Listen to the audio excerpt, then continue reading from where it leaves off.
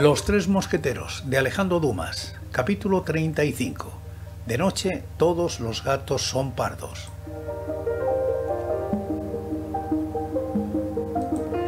Aquella noche tan impacientemente esperada por Portos y D'Artagnan llegó por fin. D'Artagnan, como de costumbre, se presentó hacia las nueve en casa de Milady. La encontró de un humor encantador. Jamás lo había recibido tan bien. Nuestro Gascón vio a la primera ojeada que su billete había sido entregado, y ese billete producía su efecto. Ketty entró para traer sorbetes. Su amante le puso una cara encantadora. Le sonrió con una sonrisa más graciosa, más ¡ay! La pobre chica estaba tan triste que no se dio cuenta siquiera de la benevolencia de Milady.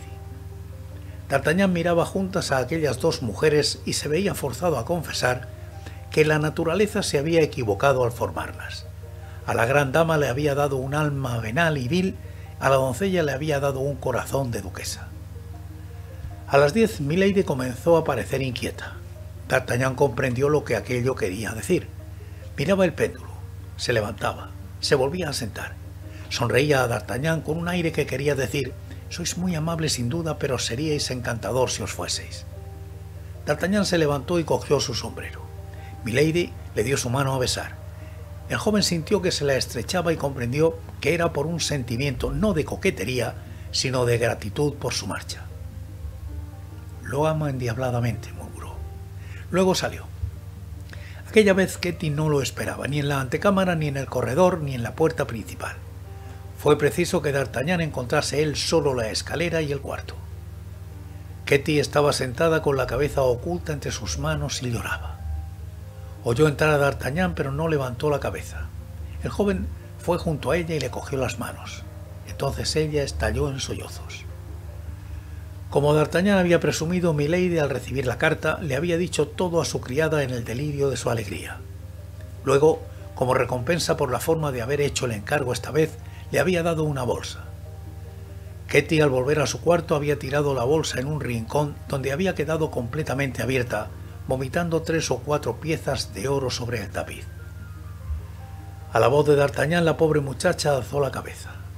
D'Artagnan mismo quedó asustado por el trastorno de su rostro. Juntó las manos con aire suplicante pero sin atreverse a decir una palabra. Por poco sensible que fuera el corazón de D'Artagnan, se sintió enternecido por aquel dolor mudo. Pero le importaban demasiado sus proyectos y sobre todo aquel para cambiar algo en el programa que se había trazado de antemano. No dejó pues a Ketty ninguna esperanza de ablandarlo, solo que presentó su acción como simple venganza. Por lo demás, esta venganza se hacía tanto más fácil cuanto que Milady, sin duda para ocultar su rubor a su amante, había recomendado a Ketty apagar todas las luces del piso, e incluso de su habitación. Antes del alba, el señor de Wars debería salir siempre en la oscuridad. Al cabo de un instante se oyó a Milady que entraba en su habitación. D'Artagnan se abalanzó al punto a su armario. Apenas se había acurrucado en él cuando se dejó oír la campanilla. Milady parecía ebria de alegría. Se hacía repetir por Ketty los menores detalles de la pretendida entrevista de la doncella de Warder, cómo había recibido él su carta, cómo había respondido, cuál era la expresión de su rostro, si parecía muy enamorado.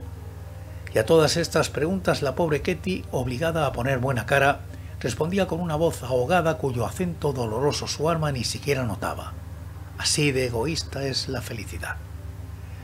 Por fin, como la hora de su entrevista con el conde se acercaba, Milady hizo apagar todo en su cuarto y ordenó a Ketty volver a su habitación e introducir The Wards tan pronto como se presentase.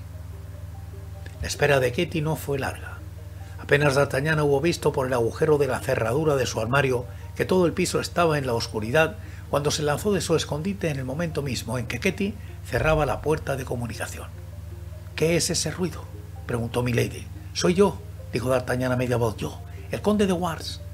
Oh, Dios mío, Dios mío, murmuró Ketty.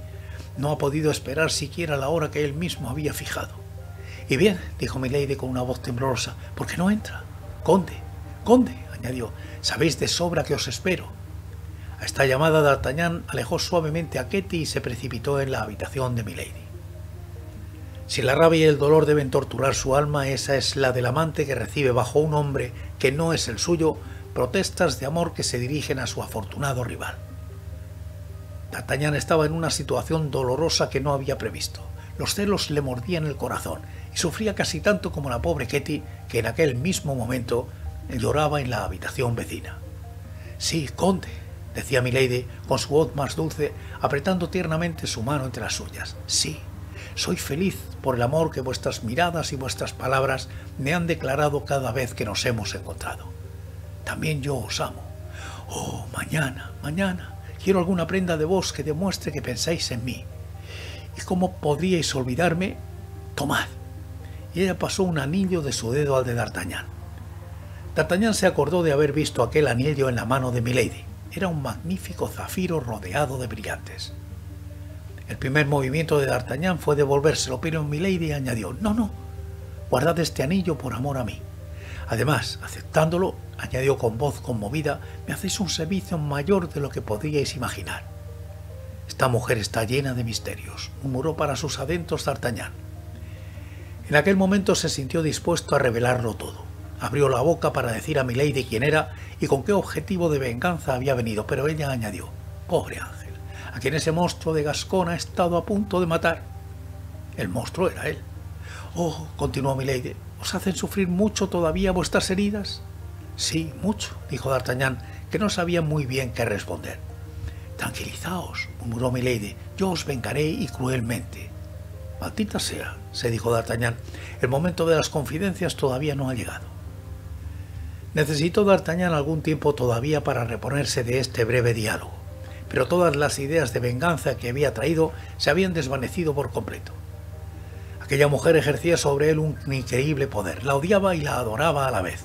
Jamás había creído que estos dos sentimientos tan contrarios pudieran habitar en el mismo corazón y al reunirse formar un amor extraño y en cierta forma diabólico. Sin embargo, acababa de sonar la una. Hubo que separarse. D'Artagnan, en el momento de dejar a Milady, no sintió más que un vivo pesar por alejarse, y en el adiós apasionado que ambos se dirigieron recíprocamente, convinieron una nueva entrevista para la semana siguiente. La pobre Ketty esperaba poder dirigir algunas palabras a D'Artagnan cuando pasara por su habitación, pero Milady lo guió ella misma en la oscuridad y solo lo dejó en la escalinata.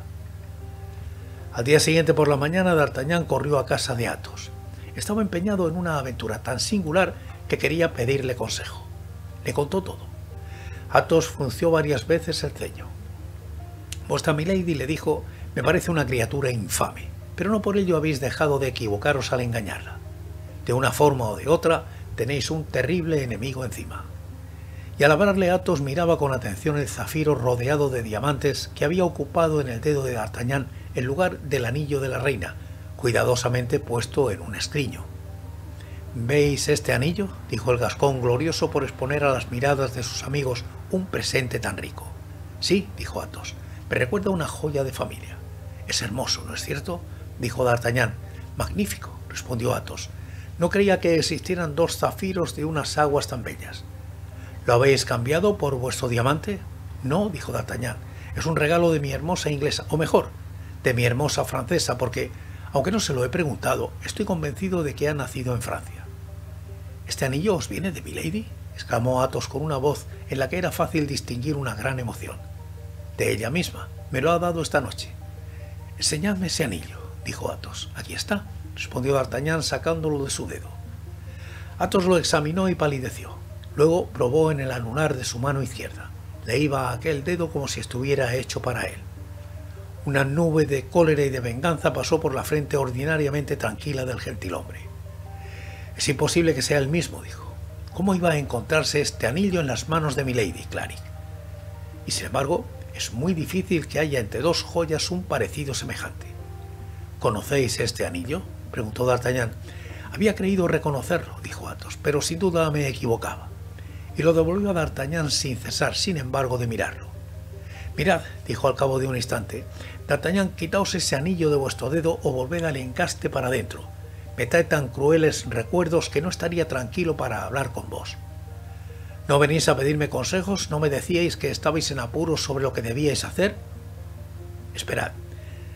Dejadme ese zafiro. Ese al que yo me refiero debe tener una de sus caras rozada a consecuencia de un accidente. D'Artagnan sacó de nuevo el anillo de su dedo y se lo entregó a Athos. Athos se estremeció. Mirad, dijo, ved, ¿no es extraño? Y mostraba a D'Artagnan aquel rasguño que recordaba debía existir. Pero, ¿de quién os venía este zafiro, Athos?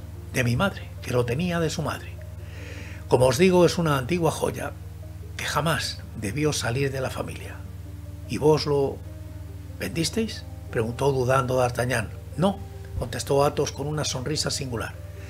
Lo di durante una noche de amor, como os lo han dado a vos.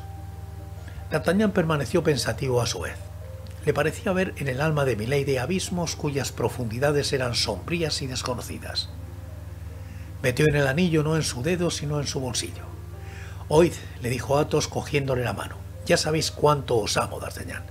Si tuviera un hijo no lo querría tanto como a vos. Pues bien, creedme, renunciad a esa mujer. No la conozco, pero una especie de intuición me dice que es una criatura perdida y que hay algo de fatal en ella. Y tenéis razón, dijo D'Artagnan.